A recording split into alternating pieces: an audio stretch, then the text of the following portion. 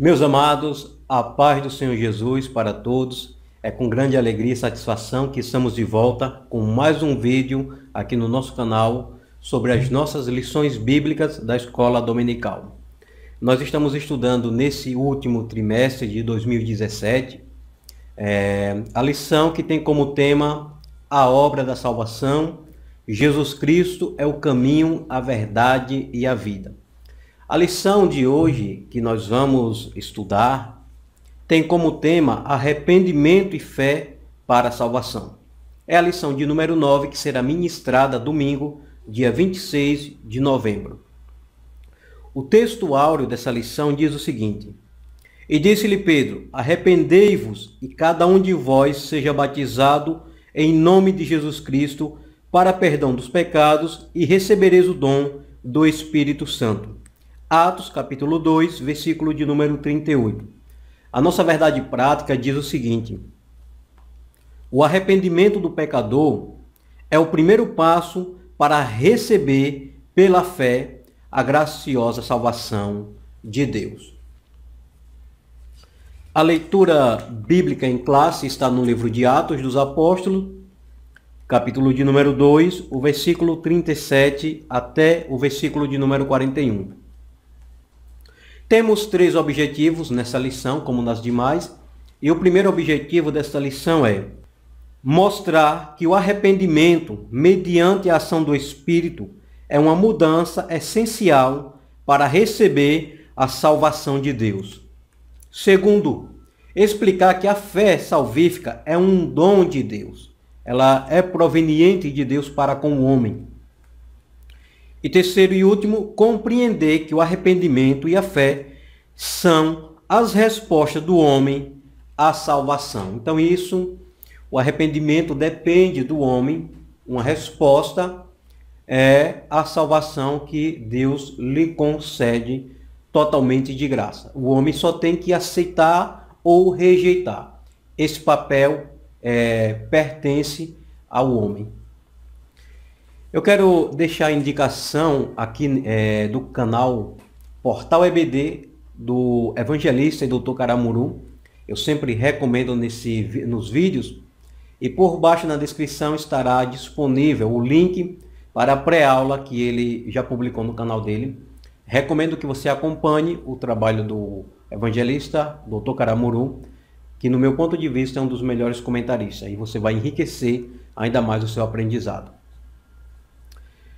Nós vamos é, ler agora a introdução para entendermos um pouco o, e explicarmos um pouco sobre o primeiro tópico e em seguida estaremos é, abordando os outros dois tópicos. O primeiro tópico vai dizer o seguinte, a epígrafe.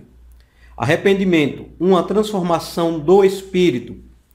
No segundo tópico vamos estudar a fé como um dom de Deus e como resposta do ser humano. O terceiro tópico diz: o arrependimento e a fé são as respostas do homem à salvação. A introdução diz: o arrependimento e a fé operam conjuntamente para a salvação. É o pecador arrependido que crê no sacrifício vicário de Cristo na cruz do Calvário. Essa fé leva o pecador arrependido a abandonar de vez a situação de pecado, para então ser perdoado e experimentar assim a paz de Deus em seu coração. Então nós podemos entender já nessa introdução e partindo para o primeiro tópico, arrependimento, uma transformação do espírito, que primeiro o homem ele se arrepende Existe uma questão que as pessoas perguntam: ah, o que vem primeiro, a fé ou o arrependimento?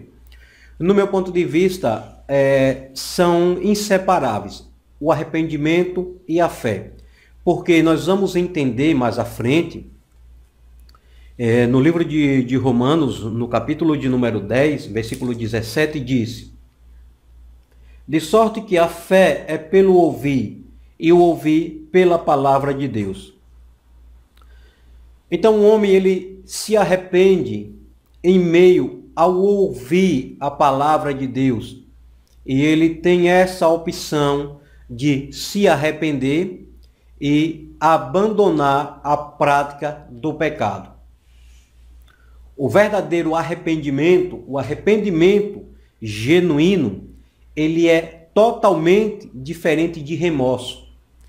Tem pessoas que elas não se arrependem pelos atos que elas praticam, mas elas sentem remorso por causa das consequências que sobrevirão sobre a sua vida.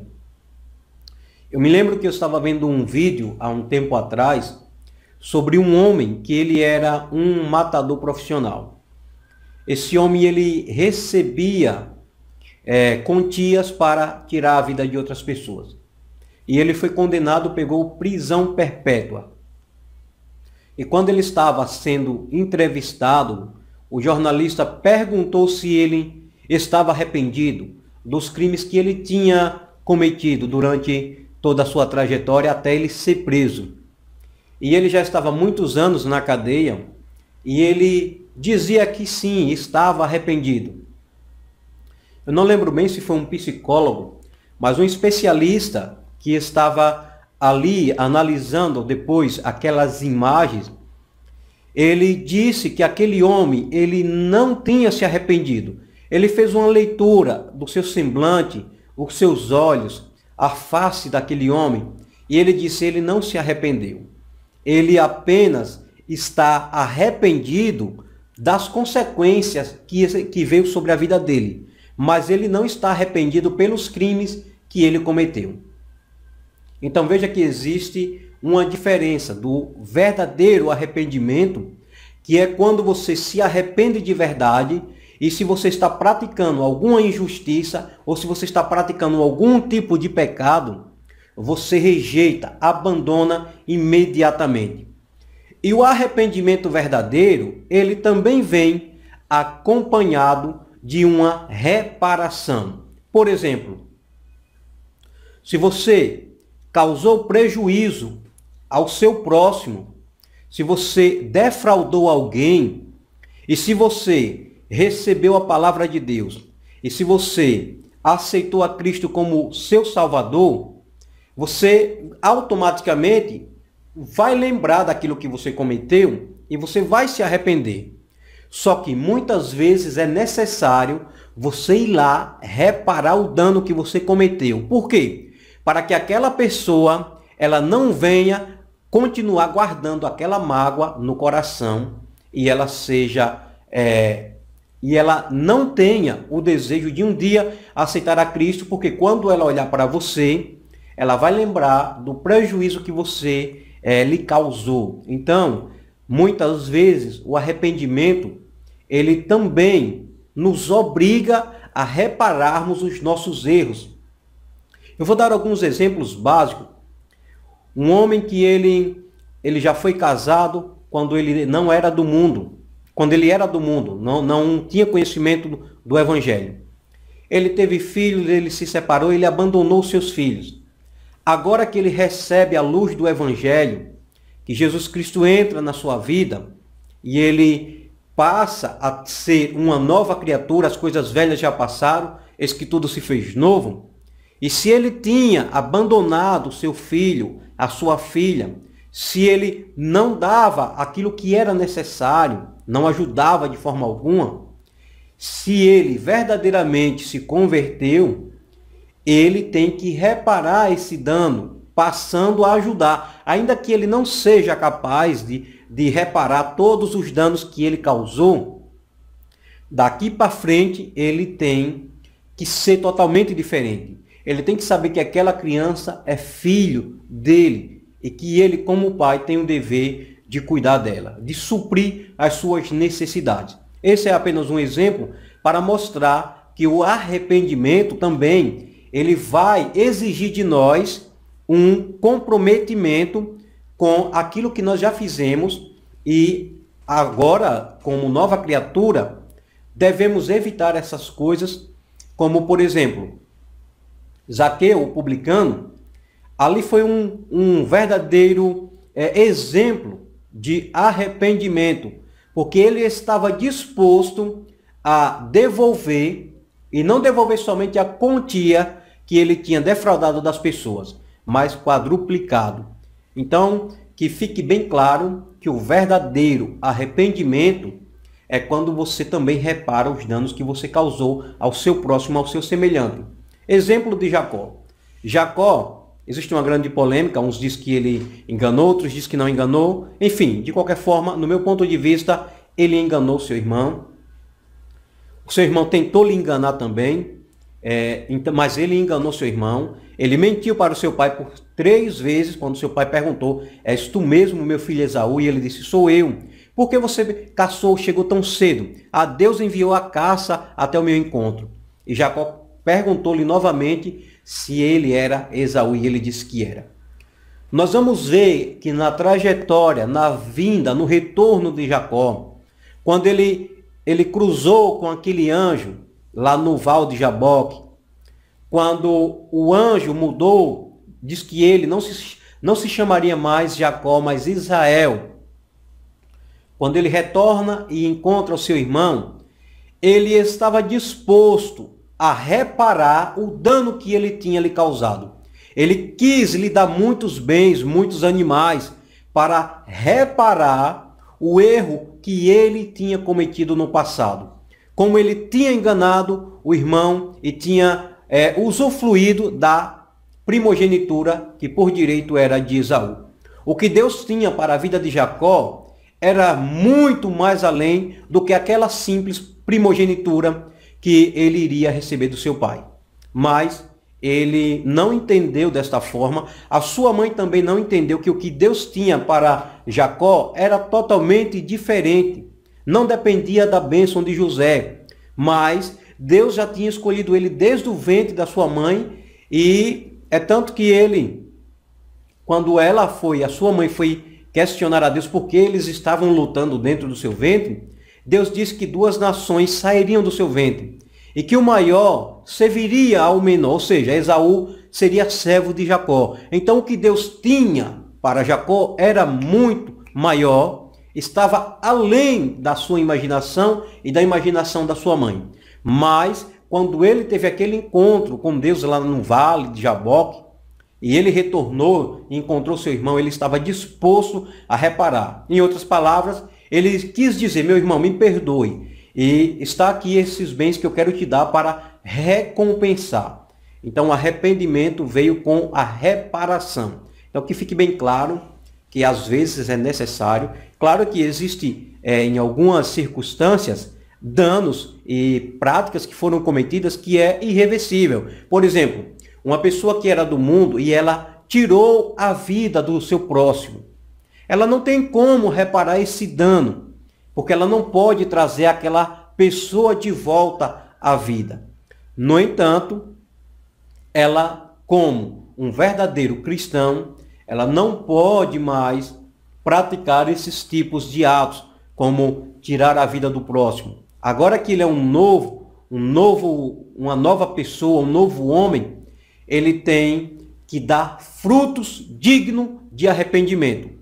É o que nós vamos ver no livro de Mateus, logo no começo de Mateus, Mateus capítulo de número 3, o versículo de número 2, João Batista pregando, ele diz o seguinte, e dizendo, arrependei-vos, porque é chegado o reino dos céus. O versículo 8 ele diz, produze, pois, frutos dignos de arrependimento. O que é produzir frutos dignos de arrependimento? Produzir frutos dignos de arrependimento é você mostrar com seu caráter, com as suas atitudes, com as suas ações, que verdadeiramente você se arrependeu.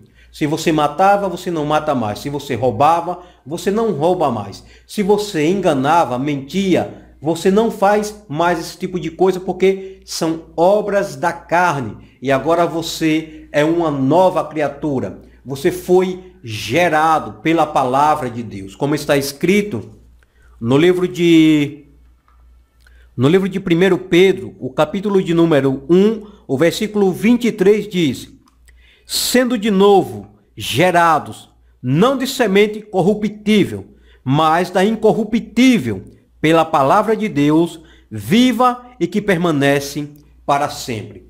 nós fomos gerados pela palavra de Deus e regenerados pelo Espírito Santo. Então, agora, como um crente regenerado, nós temos que produzir frutos dignos de arrependimento. Nós temos que ter a mente de Cristo e andar como ele andou. Pensar como ele pensou e agir como ele agiu e ele agiria se estivesse em nosso lugar em determinadas circunstâncias que nós enfrentamos no dia a dia.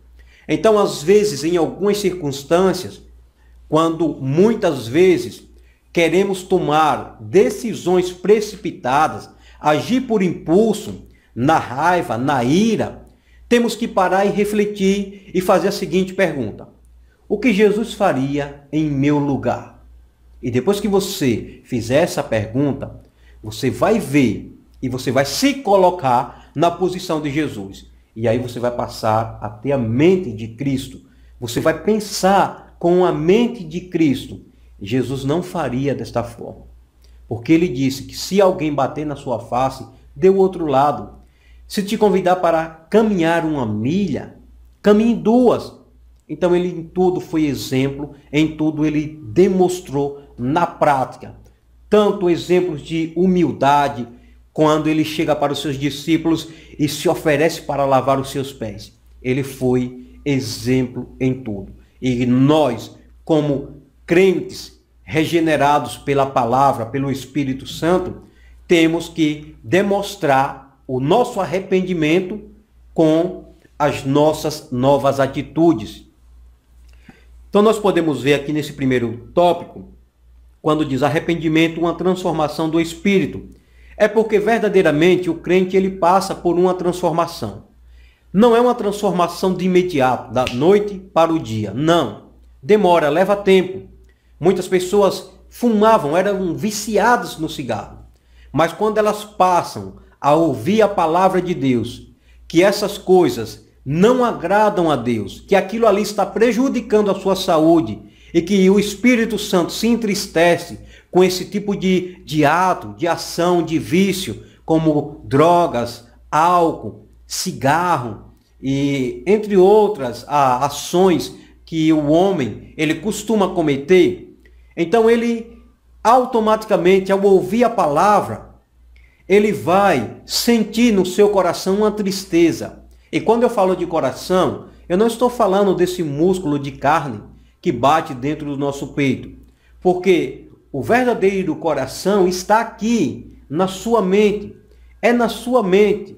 Quando Jesus fala que os pensamentos e as intenções do coração, ele está falando da mente, porque isso aqui é um músculo de carne que tem a função de apenas bombear o sangue sobre todo o nosso corpo. Mas a mente é onde vem os pensamentos e as impurezas. Então, nós como nova criatura, nós temos que ter uma mente também transformada. Quando você tem a mente renovada, automaticamente você passa a ter uma vida transformada. Isso é muito importante. Você tem que mostrar os frutos dignos de, uma, de um pecador que verdadeiramente se arrependeu. Para que quando você passar, você passe de cabeça erguida. Se você devia, você paga as suas dívidas. Você quita as suas dívidas. Ah, agora que eu sou crente, é, quando eu cometi aquela dívida, eu era do mundo, eu não tinha conhecimento. Mas a sua consciência te condena. Você sabe que você está devendo e que você tem que pagar. Então é uma obrigação sua. Esse é o fruto de uma pessoa verdadeiramente arrependida. Para quando você passar, as pessoas não fiquem lhe apontando. Ah, eu jamais quero ser crente como, aquele, como aquela pessoa ali. Ficou me devendo e até hoje não me pagou. E quando passa por aqui, nem olha. Nem me dá um bom dia, uma boa tarde, uma boa noite com vergonha. Então jamais eu quero ser crente como ele. Então, é é um, é, são falsos testemunhos, são testemunhos de uma pessoa mundana, e como um crente regenerado, você tem que reparar esse tipo de dano e mostrar que verdadeiramente o Espírito Santo, ele entrou na sua vida, ele fez uma limpeza, porque é assim que Deus trabalha em nossas vidas quando nós nos arrependemos.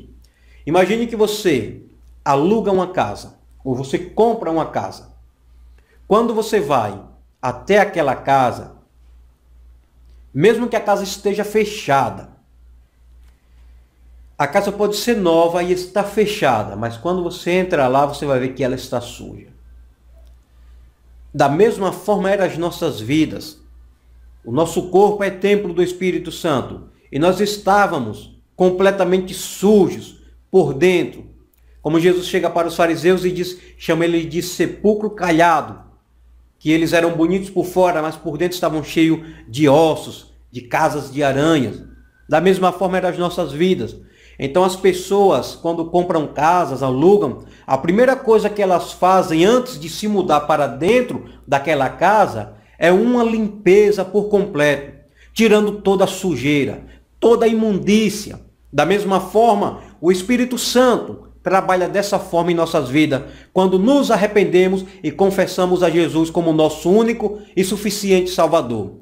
Ele vem, entra dentro da nossa vida e ele faz uma limpeza por completa nesse templo, no nosso corpo, que é comparado como templo, moradia de Deus, templo do Espírito Santo. Só que muitas pessoas acham que o Espírito Santo habita dentro de nós, dentro desse corpo de carne e osso e nervos e pele. Não. Ele habita dentro do nosso espírito. Ele faz um elo. Ele habita dentro do nosso espírito. E agora ele passa a nos orientar e a nos conduzir às coisas do alto, às coisas do céu. Mas por que nós ainda sentimos o desejo de pecar?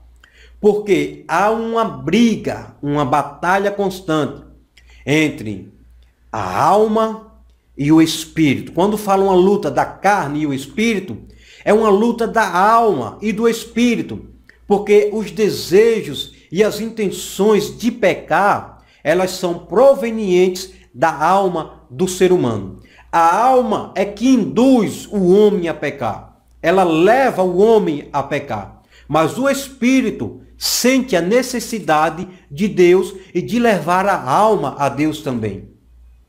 Por isso que o espírito ele trabalha na nossa mente, que é o nosso coração, para que nós estejamos com a nossa mente, o nosso coração nas coisas do céu, não nas coisas aqui da terra, nos desejos da carne, nos prazeres, nas riquezas, embora não seja. Pecado você é querer ser rico, não é.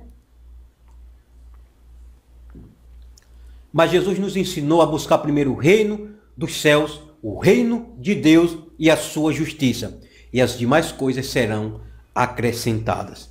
Então, o verdadeiro crente que se arrependeu, ele demonstra na prática, não com palavras, porque a, a, você pode falar uma coisa e estar vivendo completamente outra, totalmente diferente daquilo que você falou. Mas quando você demonstra que está arrependido com ações, isso é que verdadeiramente importa. Então, que fique ciente que o verdadeiro arrependimento, o homem ele se arrepende, a fé, a fé que vem através da palavra, é, existe a fé natural, como nós podemos ver é, aqui no, no primeiro ponto do segundo tópico, a fé como um dom de Deus e como resposta do ser humano. Ou seja, a fé natural é a fé que todo ser humano tem. Todo homem, ele tem fé. Até mesmo aqueles que dizem que são ateus. Eles acreditam em alguma coisa.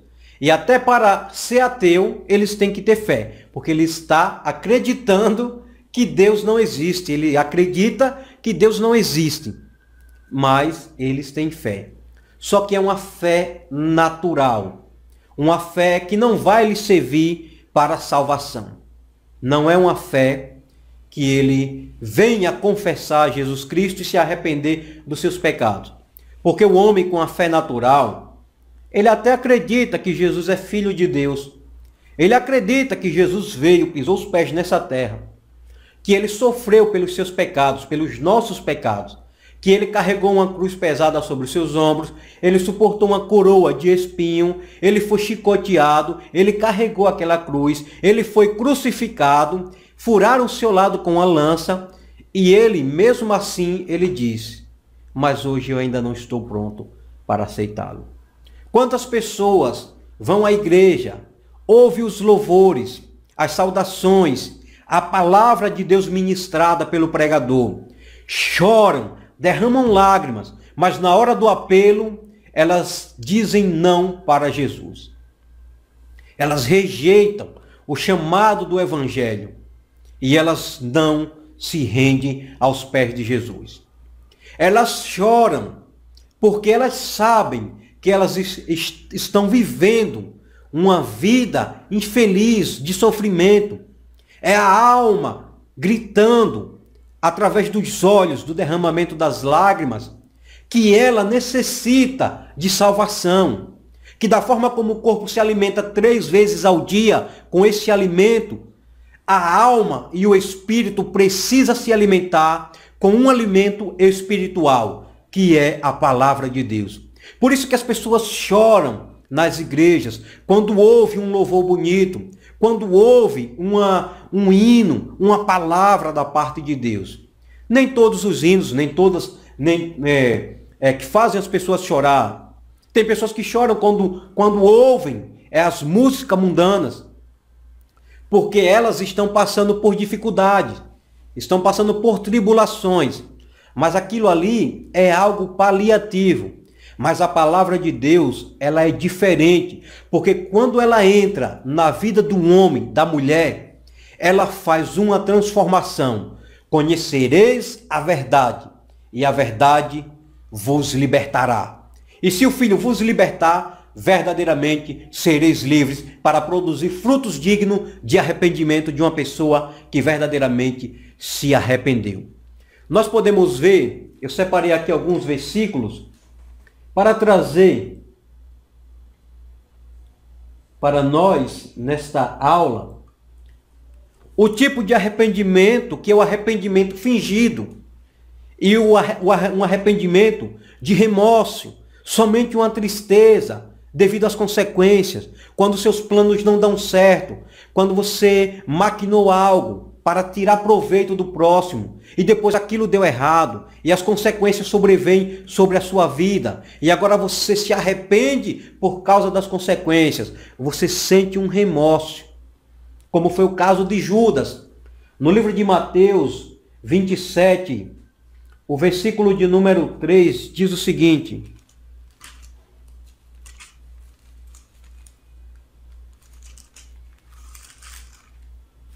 Mateus 27, 3.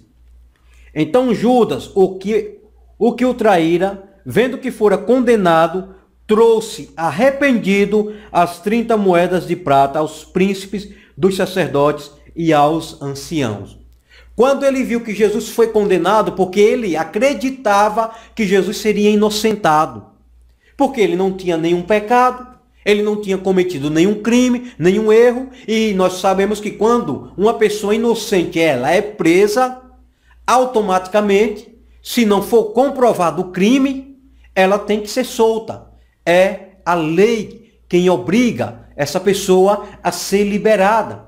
Porque algumas pessoas, como eu já vi casos em, em matérias, a pessoa matou, tirou a vida de outro, foi conduzido até a delegacia, mas como não conseguiram provar que foi ele que tinha tirado a vida do cidadão, automaticamente ele foi liberado. Porque a justiça não pode deixar uma pessoa presa sem ter provas contundentes que essa pessoa cometeu determinado crime. Judas, no seu pensamento ganancioso, porque a Bíblia diz que ele roubava as ofertas, ele era o tesoureiro, ele tinha posse das ofertas e ele roubava. Quando aquela mulher derramou aquele, aquele unguento precioso sobre Jesus, ele murmurou, disse que deveria vender e ajudar os pobres. Mas a Bíblia vai dizer em seguida que ele falou aquilo porque ele era ladrão, ele roubava as ofertas. Então, ele visou uma, alta, uma alta recompensa entregando Jesus. E ele tinha convicção dentro do seu coração pecaminoso, na sua mente, que Jesus seria inocentado e ele estaria livre para gastar toda aquela fortuna. Mas quando ele viu que Jesus foi condenado, que os seus planos foram frustrados, aí ele se arrepende. Ou seja, ele sentiu remorso, porque ele viu que o seu mestre, ele andou com Jesus durante quase três anos, e ele via as obras que Jesus praticavam. Era um homem justo, um homem santo, e ele traiu o seu mestre. E ele sentiu remorso, ele se entristeceu, porque ele viu o erro tão grande que ele tinha cometido. Mas a diferença é que ele, a Bíblia diz, arrependido, mas foi um falso arrependimento, porque ele não foi reparar o erro que ele tinha cometido, diferente de Pedro, como nós vamos ver também aqui. Em Mateus 26, versículo 33, vai dizer o seguinte: Mas Pedro, mas Pedro respondendo disse-lhe: Ainda que todos se escandalizem em ti, eu nunca me escandalizarei. Disse-lhe Jesus: Em verdade te digo que nesta mesma noite, antes que o galo cante, três vezes me negarás. Versículo 35. Disse-lhe Pedro: Ainda que me seja necessário morrer contigo, não te negarei. E todos os discípulos disseram o mesmo. Nós vamos ver mais adiante que Pedro, ele negou a Jesus durante três vezes. No, no capítulo de número 26, o versículo 69 em diante vai dizer: Ora, Pedro estava sentado fora no pátio e, aproximando-se dele, uma criada disse: Tu também estavas com Jesus, o Galileu. Mas ele negou diante de todos, dizendo: Não sei o que dizes. 71. E saindo para o vestíbulo, outra criada ouviu e disse aos que ali estavam: este também estava com Jesus o Nazareno. E ele negou outra vez, com juramento: Não conheço tal homem. E logo depois, aproximando-se os que ali estavam, disseram a Pedro: Verdadeiramente, também tu és, tu és deles, pois a tua fala te denuncia. Então começou ele a praguejar e a jurar, dizendo: Não conheço esse homem. E imediatamente o galo cantou. Nós podemos ver aqui um Pedro negando a Jesus por três vezes. Eu gostaria de abrir um parênteses em rápidas palavras. Não vou me deter a esse comentário, até mesmo porque aqui no canal eu já fiz um comentário sobre esse canto do galo. Não era um galo comum como esses que nós às vezes criamos no, no fundo do nosso quintal. Não, este galo se refere a uma das vigílias que tinha sido implementada por Roma em Israel. O povo judeu tinha três vigílias e Roma mais tarde alterou, criando quatro vigílias. E essa vigília, que era a terceira vigília da noite, era chamada de o canto do galo. E a quarta e última vigília era a vigília do amanhecer. Aqui no canal tem um vídeo onde eu mostro é, onde está escrito e todas essas quatro vigílias explicando e mostrando na Bíblia. Então vá lá e busque lá para você entender que não foi um galo comum, até mesmo porque em Israel não podia ser criado galo. Em Jerusalém era proibido a criação de galo, porque eles sujavam as ruas com as suas fezes e Jerusalém é considerada uma cidade santa e lá não podia ter animais impuros lá dentro.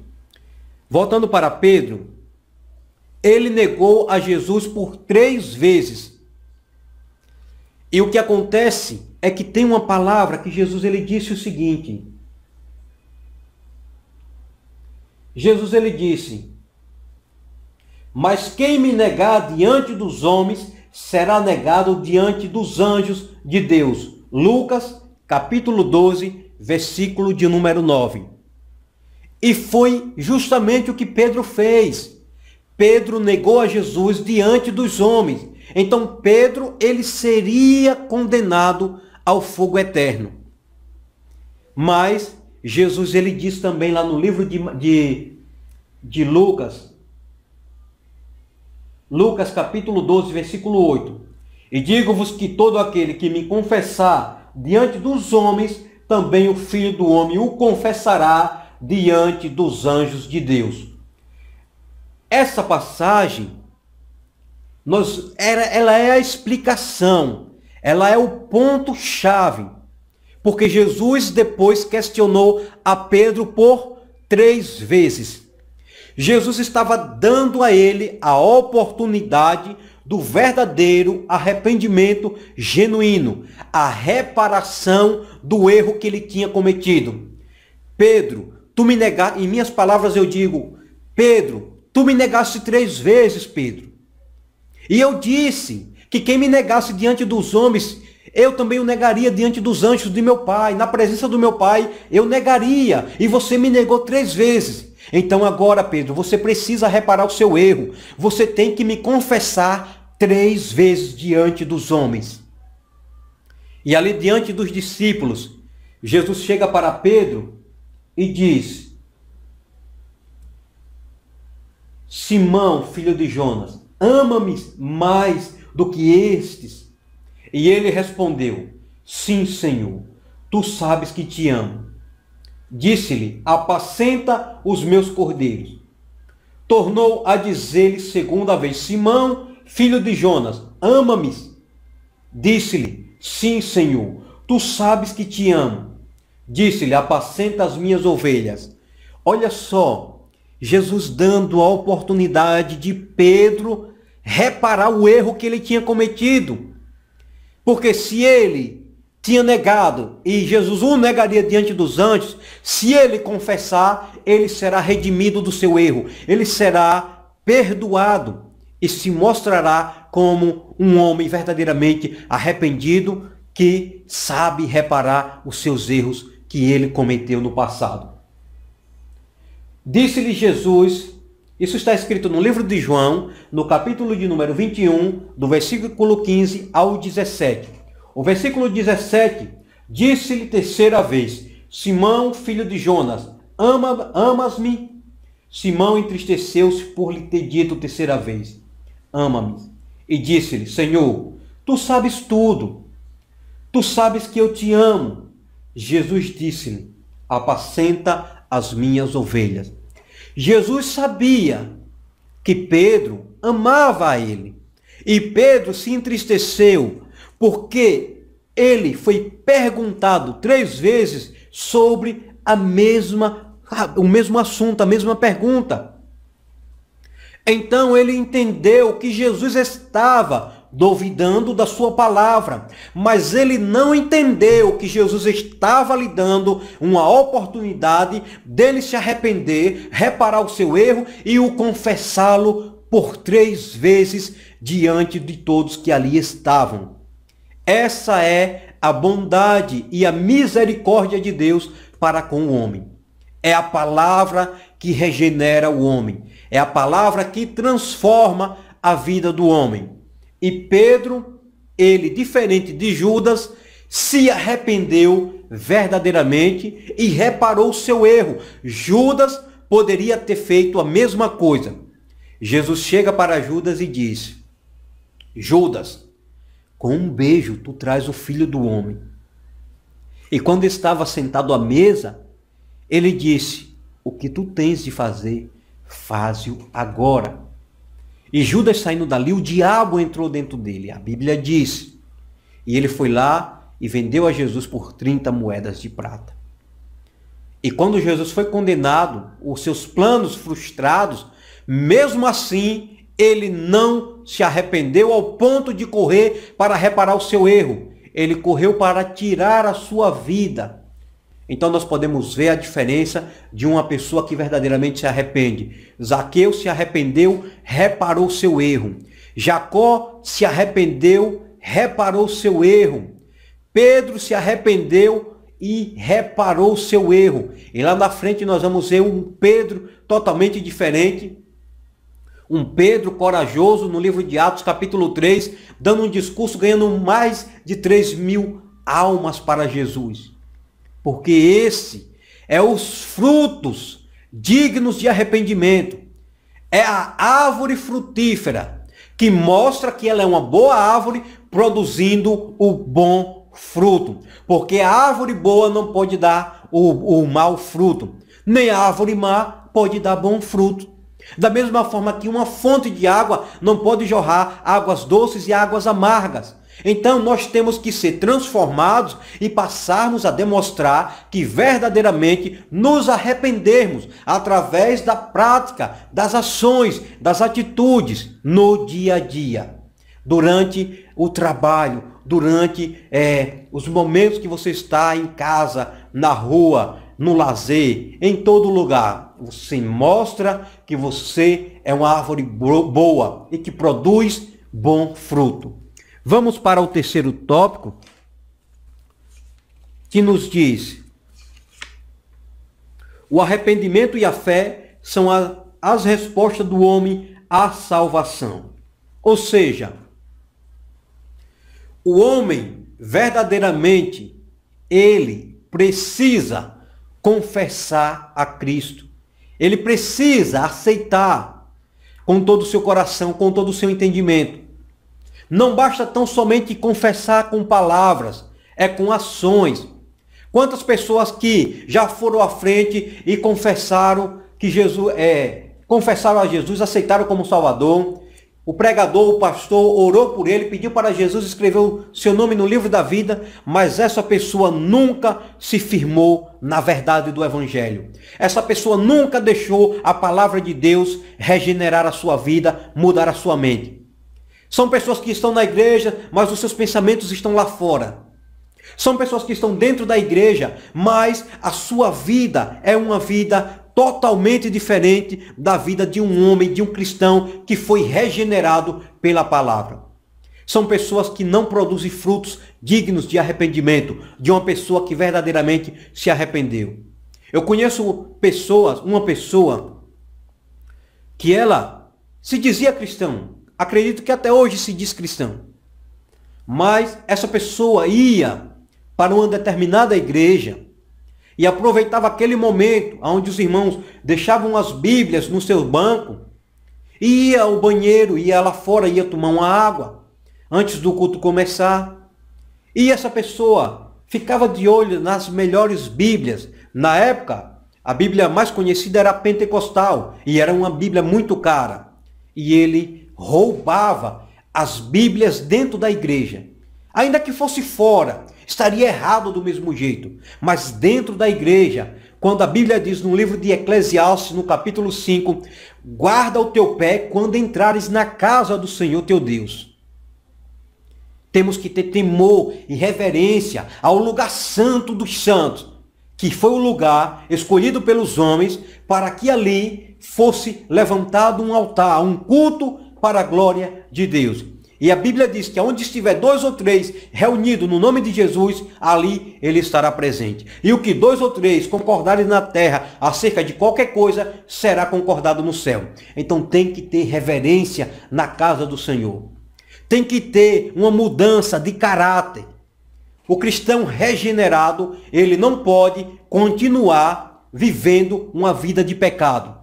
Ele até pode pecar, porque todos nós somos pecadores. E aquele que disser que não tem pecado, esse é mentiroso. Mas ele diz que não devemos viver na prática do pecado. Jesus ele não nos chamou para vivermos caindo, tropeçando, para vivermos caído no chão. Não. Ele nos chamou para andarmos de pé, para estarmos de pé. E ainda que caiamos, não ficaremos prostrados, porque fiel é Deus para estender as suas mãos e nos acolher, e nos levantar e nos colocar de pé e dizer: agora vai e dê frutos dignos de arrependimento. E dos teus pecados me não lembro. Olha só que coisa linda. O que está escrito no livro de Miqueias, no capítulo 7, no versículo de 19. Deus, ele é maravilhoso. Ele é muito bondoso para com a humanidade. Miqueias 7:19. Tornará a piedade de nós, subjugará as nossas iniquidades e lançará todos os nossos pecados nas profundezas do mar. Ele não lembra dos seus pecados. Ele lança nas profundezas do mar. Algumas pessoas costumam dizer que Deus lança os seus pecados no mar do esquecimento. Mas geograficamente esse mar não existe. Você não encontra em nenhum mapa um mar chamado mar do esquecimento. Mas aqui nesse versículo diz que ele lança todos os nossos pecados nas profundezas do mar. Em outro versículo, que, me, que não, não me vem à memória agora onde está escrito, diz que ele nos perdoa e dos teus pecados me não lembro. Ou seja, ele lança os nossos pecados nas profundezas do mar e deixa lá. E não, não, não, se, não é que Deus ele não tem o poder de se lembrar. Não é que Deus ele se esqueceu. Não. É que Deus ele não lançará em rosto os nossos erros e os nossos pecados. Não. Quando Deus ele disse, está perdoado. Foi o que aconteceu com Davi. Quando ele cometeu aqueles pecados. Deus manda o profeta lá e diz: Contudo, Deus te perdoou e você não vai morrer. Mas as consequências virão. As consequências, essas ninguém escapa. Mas Deus deu uma oportunidade a Davi. Como no outro vídeo da outra lição eu falei, que ele tinha violado dois mandamentos, três mandamentos. Cobiça. Primeiro, ele cobiçou a mulher de Urias. Segundo, ele adulterou. Terceiro, ele matou. Em Levítico, diz que o homem que tirasse a vida de outro tinha que morrer. Os dez mandamentos, em um dos mandamentos, diz que, que não adulterarás. E o homem que adulterasse, ele tinha que ser levado para fora da cidade e ser apedrejado. Também não cobiçarás a mulher do próximo, nem o bem, nada. E ele violou três mandamentos. E Deus foi misericordioso. Mas ele se arrependeu. Ele caiu, se prostrou-se em terra arrependido. E Deus, no, no, no Salmos, diz que Davi, achei a Davi, homem segundo o meu coração. Mas Davi tinha tantos defeitos, Davi tinha tantas falhas. Mas Deus, ele não nos lança em rosto as nossas falhas. O Deus, quando ele olha para nós, ele vê se verdadeiramente produzimos frutos dignos de uma pessoa arrependida, ou se estamos apenas fingindo por causa das consequências que virão sobre as nossas vidas. Mas a palavra de Deus, ela nos garante vida eterna quando somos regenerados, quando nós decidimos mudar o Espírito Santo, ele não nos força, ele não nos obriga, ele nos conscientiza, ele nos orienta, ele nos aconselha a nos afastarmos das coisas pecaminosas. Ele nos ensina a trilharmos o caminho da justiça. Mas nós é que temos que decidir. Ele diz que coloca diante de nós o caminho da vida e o caminho da morte, o caminho da bênção e o caminho da maldição. E diz: escolhe o caminho da vida para que vivas e te vás bens. Mas o homem, ele tem esse poder de decisão. Deus, ele não vai te obrigar, embora ele tenha todo o poder, se ele quiser, ele te obriga, ele interfere no seu livre-arbítrio, no meu livre-arbítrio, mas ele não vai interferir na salvação, não ele vai dar a oportunidade de todo homem se arrepender, de ouvir o evangelho, da fé ser gerada. E aí você decide aceitar ou rejeitar. A fé vem pelo ouvir, ouvir a palavra de Deus. Olha o que está escrito em Tiago. Tiago, capítulo 1, versículo 18. Segundo a sua vontade, ele nos gerou pela palavra da verdade para que fôssemos como primícia das suas criaturas. Um privilégio como se for para sermos os primeiros, as primícias das suas criaturas. Nós fomos regenerados pela palavra. É a palavra quem transforma o homem. Uma igreja onde não tem palavra, uma igreja onde não tem doutrina, é uma igreja onde as pessoas vivem na prática do pecado. Elas não se arrependem porque não tem palavra. E aonde falta palavra, há muito lugar para o pecado. E quando não há profecia, e a palavra é a maior profecia que existe, o povo se corrompe. Vai haver nos grupos pecado, vai haver adultérios, fornicação, vai haver tudo quanto é tipo de pecado.